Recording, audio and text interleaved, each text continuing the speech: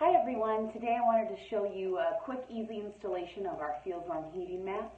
Um, typically a heating mat is placed on a kitchen island or a basement bar, anywhere that you're looking to feel warmth on your stone. For this example, to make it simplified, we're actually just showing you how to apply it to this 12 by 12 inch stone slab here. Um, this is actually pretty common with a dealer of ours or someone who's interested in selling it to somebody else. It's a really great demo. Um, so if you are interested, we do have these really great 11 by 11 inch heating mats. So this is the FeelsWarm mat. Very, very thin. And this applies nicely to a standard stone slab. Um, so for demo purposes, um, I had already applied the surface prep kit on the back side.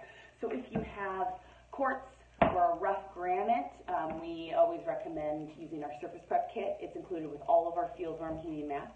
It kind of, here, here's a Here's what it looks like. It's a two-part epoxy. You just brush it together, um, and then you brush it right onto the stone, and you let it dry.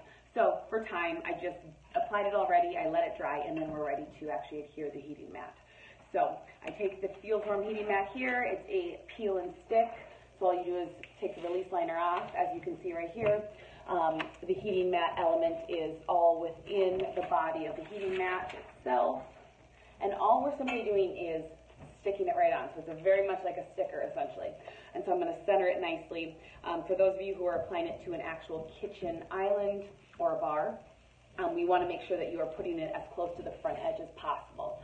A question we get a lot is how far does the heat actually radiate within stone? And we just want to make sure that you are applying it as close to the edge as possible because heat doesn't radiate very far at all. So we want you to have the warmth exactly where you are actually sitting at. Um, so I'm pressing it firmly down here um, onto this stone slab. Let me show you a little bit. Quite simple. This is how thin it actually is onto the stone. And as you can see, of course, we have a cord um, that comes off the heating mat. Um, this just plugs into a low voltage transformer. So I have a low voltage transformer here.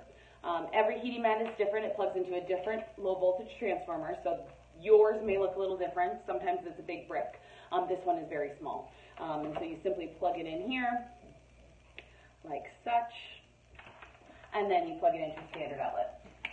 Of course, it will look a lot different on your kitchen island. Usually the outlet is within the cabinetry, so you can easily just plug it in um, it can operate and everything's hidden inside the cabinetry. So it'll take about an hour and a half for this to warm up. That's a good thing. We want it to be kind of a passive heating system so that it warms up the stone very slowly. Um, but then once it gets to about an hour and a half or two hours, you're going to feel that nice 20 degree difference above room temperature, and that will be when it will feel nice and warm for you. So if you have any questions, absolutely um, reach out to us, www.feelswarm.com.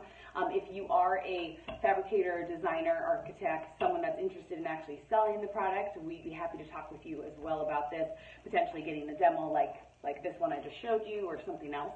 Um, and if you're a homeowner and you want to get that cold chill off of your counter, we are the best to help you with that. So give us a call. Thanks so much.